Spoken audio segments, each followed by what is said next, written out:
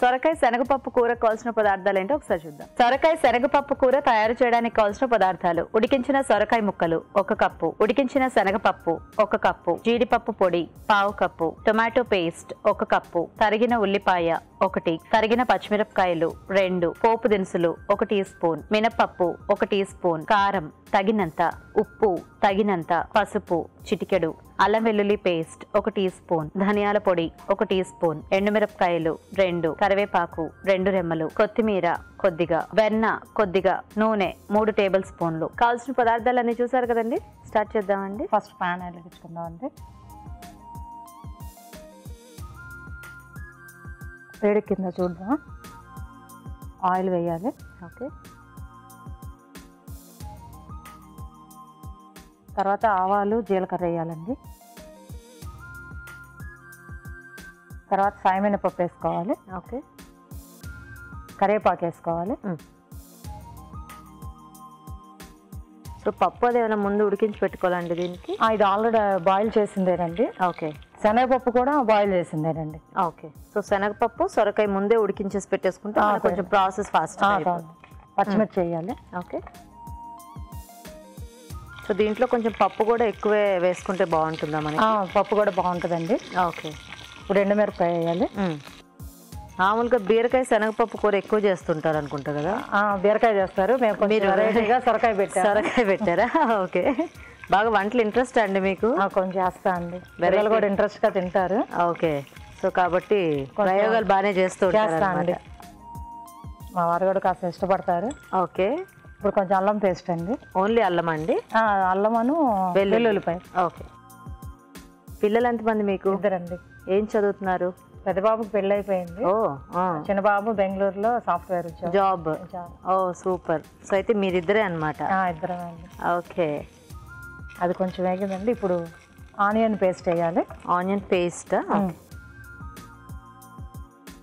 కొంచెం gravy curry లాగా వస్తుంది. గ్రేవీ లాగా వస్తుందండి. టొమాటో కూడా పేస్ట్ లాగా ఆ వేసుకోవాలి టమాటా కూడా మనం మిక్సీ వేసుకోవాలి. ఓకే. సో మనకు గ్రేవీలాగా కావాలంటే కొంచెం ఇట్లా పేస్ట్ లాగా వేసుకుంటే పచ్చిపప్పు అను శనగపప్పు అను సొరకాయ అంటే అందరు ఇష్టపడరు కదండి. అవునవును. కొంచెం మన అన్నంలో కలుపుకోవటానికి కూడా బాగోదు. కాబట్టి ఇలా చేసి కొంచెం గ్రేవీ లాగుంటే కాస్త చపాతీ లాంటి ఆ చపాతీలో కూడా బాగుంటది రోటీస్కి చపాతీకి పుల్కాలకి. సో మీకు ఇంట్లో కాలక్షేపం ఏంటండి మరి? షాప్కి వెళ్తా అండి మీరు కూడా వెళ్తారా? షాప్కి వెళ్తాను ఓకే. సో కిట్టి పార్టీలు అవి ఉన్నాయా మీకు? లేదండి. కిట్టీలు ఏం లేదు. ఇష్టం లేదా మీకు. అసలు ఇష్టం లేదా?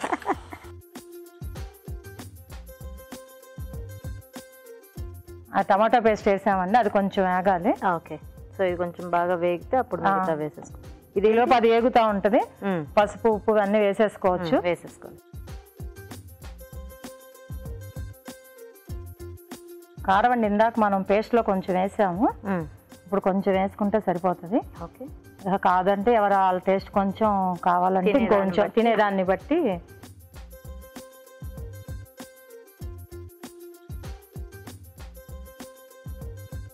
ఇప్పుడు అది బాగా కలిసిందండి. మనం పప్పు అను ముక్కలు వేసుకోవటమేను ఓకే. సో మనం మామూలు ఇట్లా పచ్చి ముక్కలు వేసి కూడా చేసేసుకోవచ్చు పచ్చి ముక్కలు అంటే మనం ఆల్రెడీ అది పేస్ట్లో ముక్క మెత్తపడదండి ఓకే. అందుకని చే- ఉడికించుకుంటేనే ఈ పప్పు కూడా మనం విడిగా మనకి దాంట్లో మెత్తపడదు అవును.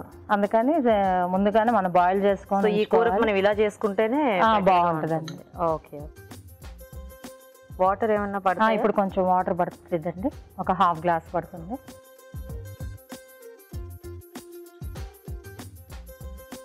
ఒక ఫైవ్ మినిట్స్ టెన్ మినిట్స్ ఉండాలి. ఓకే మూత పెట్టేసి మూత పెట్టండి సో ఇది కొంచెం దగ్గరకు అయితే అప్పుడు మనము ఇదేం పొడి? జీడిపప్పు పొడి అండి. మనం టేస్టీకి కొంచెం దాంట్లో ఫైనల్గా యాడ్ చేసుకుంటే సరిపోతుంది. అయిందా ఒకసారి చూడండి. అయిందండి. ఇప్పుడు కొంచెం లాస్ట్గా ధనియాల పౌడర్ అను మ్మ్. జీడిపప్పు పౌడర్ వేసుకుందాము. ఓకే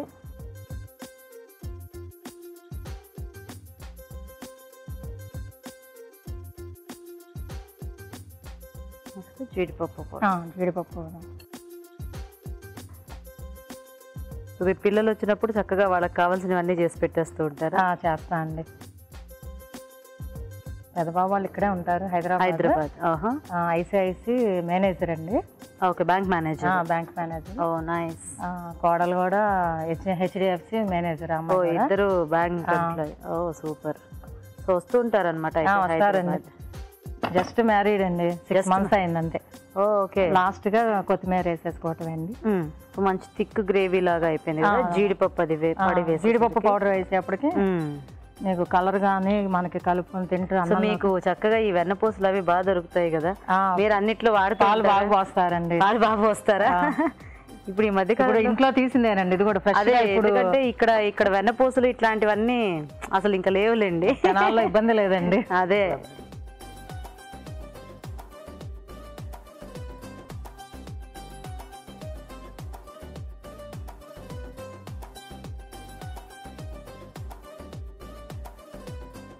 అయిపోయిందండి. ఓకే. లాస్ట్లో కొత్తిమీర వేసుకొని కొంచెం పైన వెన్నపూస వేసుకుంటే బాగుంటుంది. ఓకే.